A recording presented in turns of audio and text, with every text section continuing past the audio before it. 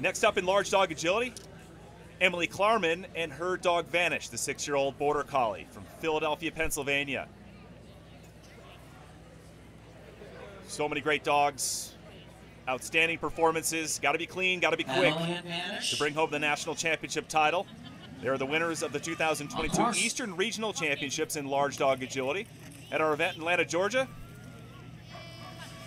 Members of the 2022 Team USA squad at the World Agility Open and European Open.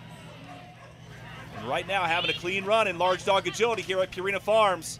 Beautiful day, no excuses, perfect weather, and right now, a perfect run going so far by Vanish.